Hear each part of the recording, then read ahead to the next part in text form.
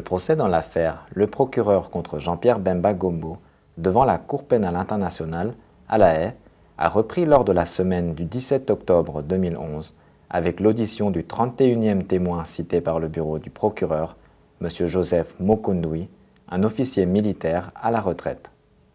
Les semaines précédentes avaient été marquées par l'audition des 29e et 30e témoins de l'accusation, des témoins protégés qui avaient déposé essentiellement à huis clos partiel.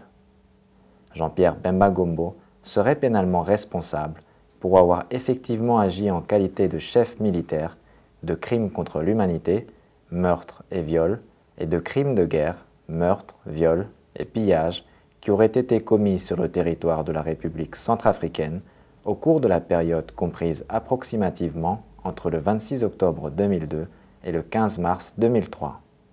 Son procès s'est ouvert le 22 novembre 2010 devant la Chambre de première instance 3 de la Cour. Interrogé par le bureau du procureur, M. Joseph Mokundui, ancien militaire de l'armée centrafricaine ayant notamment obtenu le grade de lieutenant-colonel, est revenu sur les événements survenus dans son pays à l'époque des faits.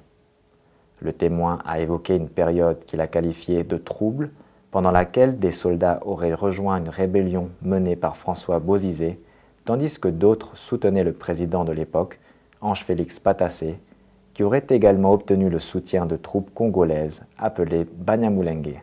Il a répondu aux questions d'Eric Iverson, substitut du procureur. Donc il y avait deux groupes, les loyaux, les loyalistes et les rebelles, c'est cela? Euh,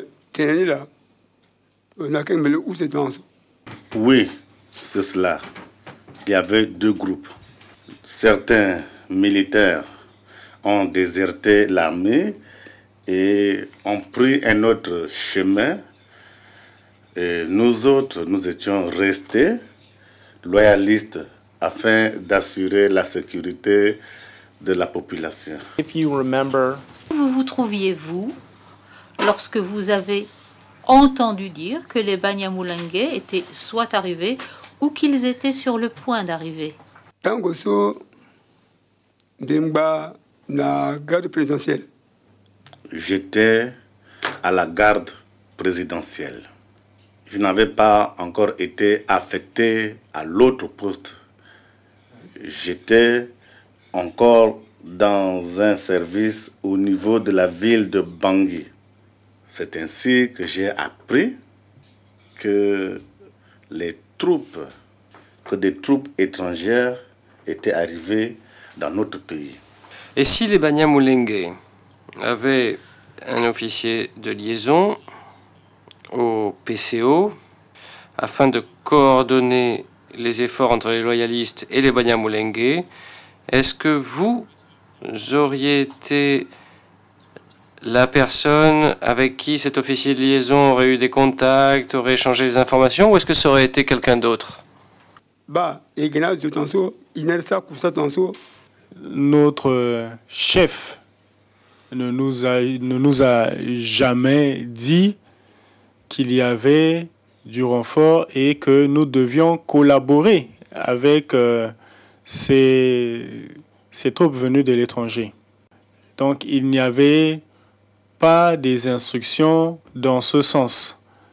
J'ai été désigné et il m'a été dit de représenter la sécurité présidentielle au sein du CCOP.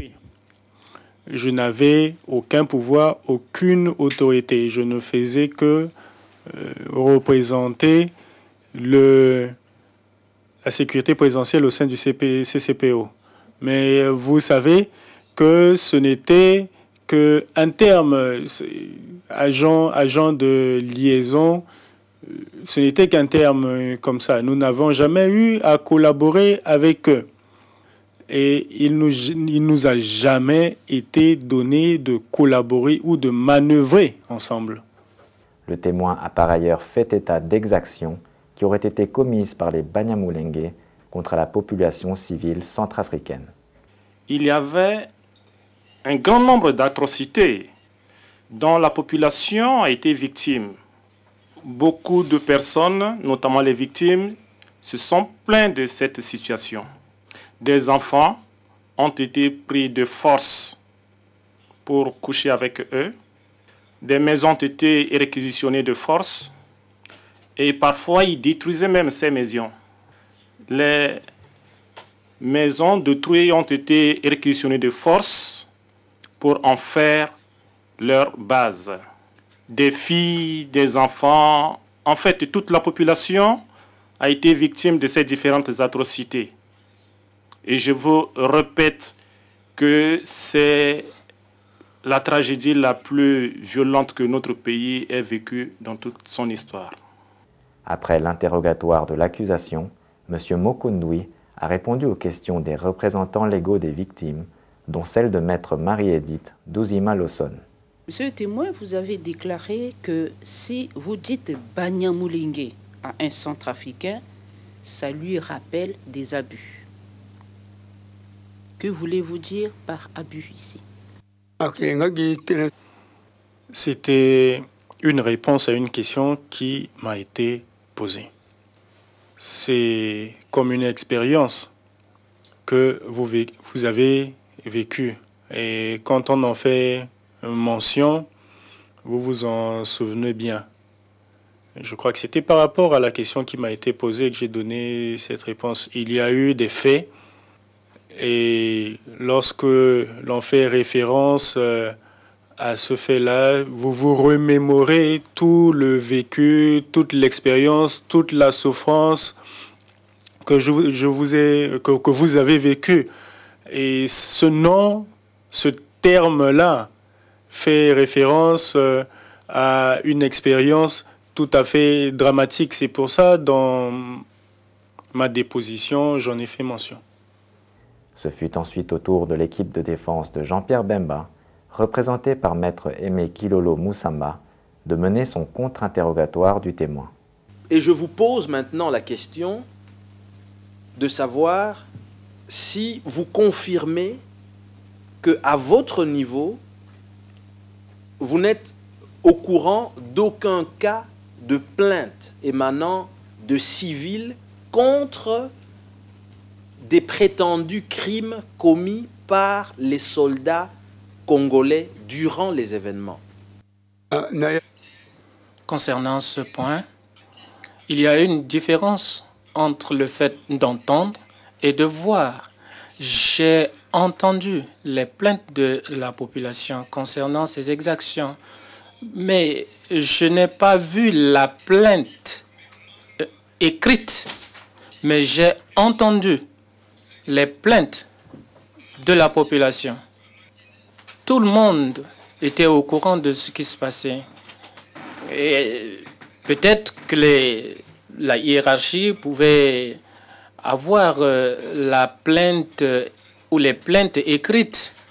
Mais moi personnellement, je n'en ai pas vu, mais j'ai entendu ces plaintes. Savez-vous pourquoi les, les autorités civiles administratives euh, de l'époque étaient amenées à vivre dans, dans, la panique, dans la peur, euh, lorsque les, les, rebelles de Bozizé ont occupé euh, ces différentes villes de Bosangoa, Bozoum et Bosimptele.